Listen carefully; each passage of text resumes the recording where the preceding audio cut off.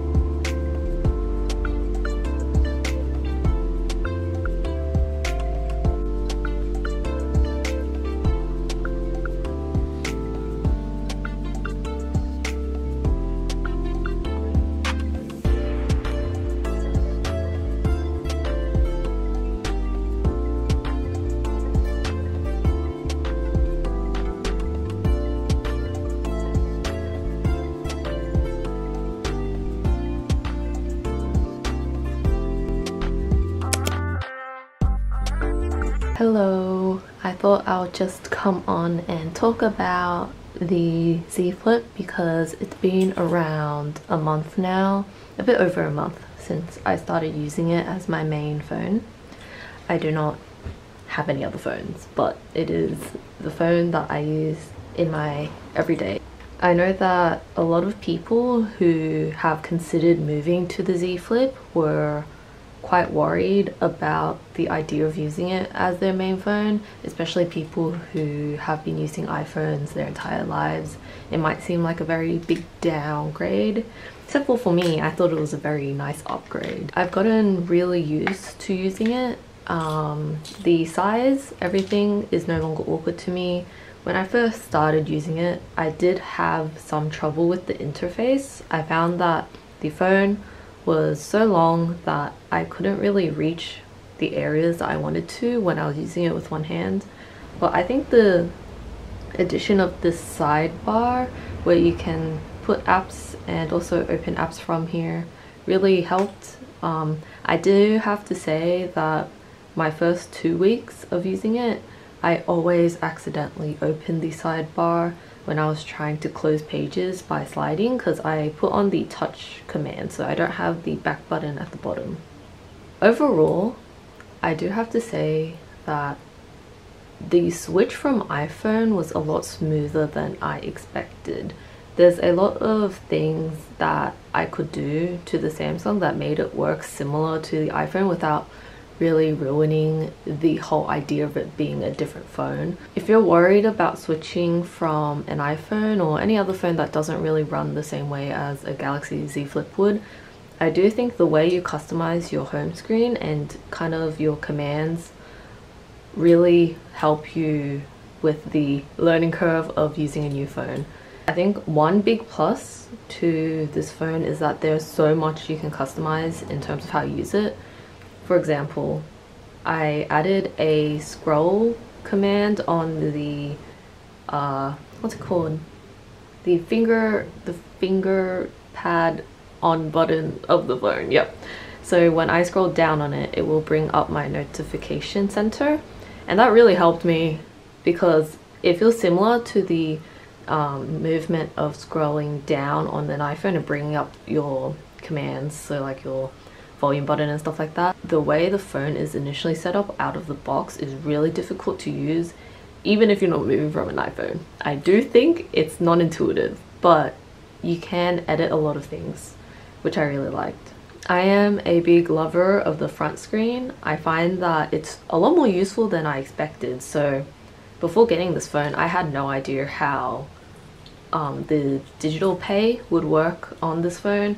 So once I actually tried setting up the Samsung Pay, I was very pleasantly surprised and happy about finding out that you can slide up to bring out your card and just tap on. I do really like the fact that you can pay without opening your phone because a lot of the time when I'm paying, I did not enjoy the action of turning on your phone and looking at a screen while you were talking to the person at the register or on the bus or wherever you're tapping on to pay. I like that I can still be present in the moment while using my digital pay. It's just, just a very nice feeling. I'm a bit more in tune with things. And I think stemming from that point actually, I think the biggest thing I enjoy about this phone is that I am not on it as much as I would be with an iPhone and it does help me slow down my digital intake which I really enjoy. There definitely is a level of convenience with an iPhone that is not present with the Z Flip. Everything's just a lot easier and a lot quicker to access. I found that everything on an iPhone when I used it, it was just there. Like I would just touch something and I would have to I would bring up whatever I need. Whereas for the Z Flip, I kind of have to go through folders more I, I think I feel this the most with like the gallery. I'm not sure if it's just because I never learned how to use the gallery properly. But I felt it the most with the photo gallery. But everything takes a bit more time to open up, which I think makes your usage more intentional, which I enjoy. Though I can imagine that if people are very busy and they are people who are very focused on productivity, an iPhone would probably be better. One thing I really miss from my old phone is the quality of images. Um, I'm not saying that the camera is quite that much worse than an iPhone but I think that the especially the zooms they're very crunchy when you do it on screen one thing I really enjoy about the camera however is the video function as you know you can record with your front screen but the thing that I discovered that I really enjoy is that you can record it. You can record from like this you can record from the what's it called? I, I call it sandwich mode. I'm not sure what this mode is called but you can record in this mode but show what you're recording at the front. So this makes dance videos so much easier to record.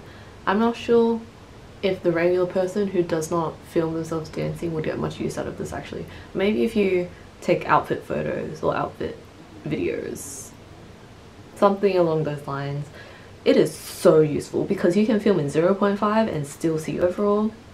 I really enjoy the Z Flip and I do think the decision to move back to an iPhone would take a lot of thinking. I don't really see myself needing an iPhone anymore but I can see myself wanting it for convenience which I think I'm okay with that